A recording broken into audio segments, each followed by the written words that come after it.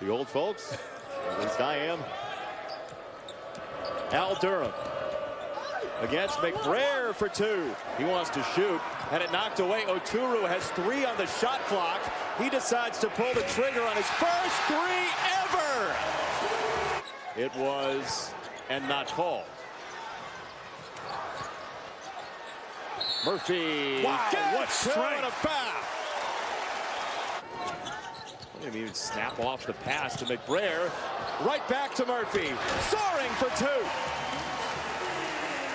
10-point game, Indiana hanging around. Minnesota, remember, banked in a couple threes earlier in the game. This one is beautiful from Kalscheur. Well, he can really shoot.